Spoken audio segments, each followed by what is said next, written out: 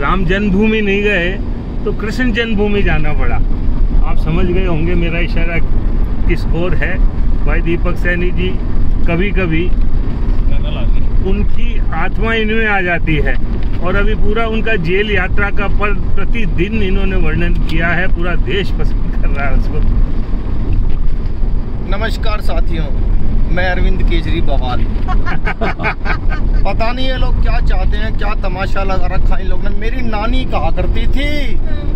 बेटा कितनी भी शराब बांट देना लेकिन राम का नाम अगर लेना हो तो पहले ले देना वरना बाद में जेल में जाके लेना और ये देखो जेल का वातावरण वैसे कालकोटरी का सब उत्पन्न हो गया। ये तो हर जगह ये लोग ये लोग पार्शलिटी करते हैं। अमित शाह की वीडियो साफ़ बना ली सबकी साफ़ बना ली मेरी बारी में अंधेरा करते हैं ये लो भाई रो। मेरी बारी में अंधेरा कर दिया टनल आ गई टनल आ गई टनल गुफा में डाल दिया इन लोगों ने मेरे को।